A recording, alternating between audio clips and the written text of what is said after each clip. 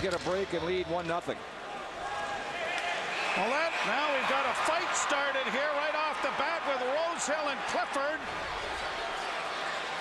And at long range, and Clifford a right-handed thrower, and so is Rosehill at this point.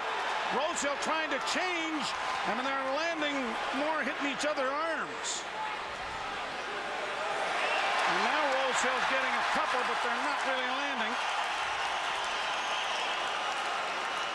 And the linesmen, I think, are about to move in here, aren't they?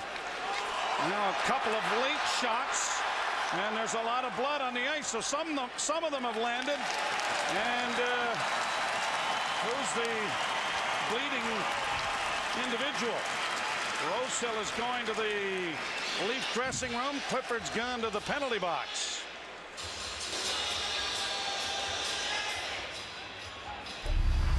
This period brought to you by the all-new Toyota Yaris.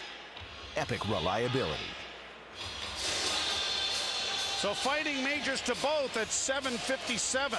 Yeah, it didn't take much. Kyle Clifford's a player that has been wanting to play a little tougher of late, and he's been told that he has to get on the body a little bit more, so he engages here early. The 20-year-old who had a real good year last year for the Los Angeles Kings in his first year, the former Barrie Colt, got into it in a hurry, and he took on a heavyweight in Rosa. And Kyle Clifford would not be in that division.